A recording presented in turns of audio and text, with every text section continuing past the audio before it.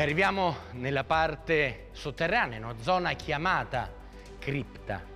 Volevo ricordare a chi di voi ci segue anche sulla rete, sul web, che questa sequenza potrete vederla anche attraverso le nostre telecamere a 360 gradi che in questo momento sono in funzione, quindi potrete girare con il vostro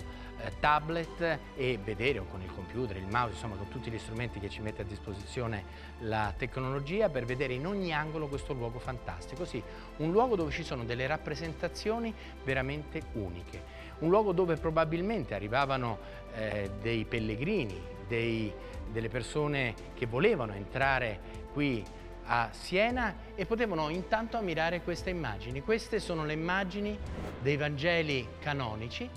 eh, immagini dei Vangeli canonici dove per esempio vedete c'è un Gesù deposto dalla croce con una scala sulla quale si trova addirittura Maria, un'immagine francamente poco conosciuta. Ma in questo luogo che eh, ci racconta con i Vangeli canonici la vita che conosciamo di Gesù ci sono anche delle immagini di Vangeli apocrifi che non raccontano qualcosa di proibito o di segreto, ma raccontano qualcosa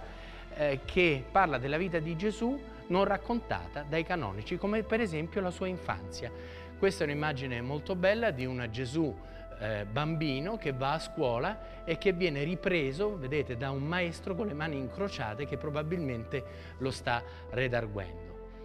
Pensate, questo luogo è stato scoperto solo nel 1999, dopo una serie di lavori è stato aperto al pubblico nel 2004.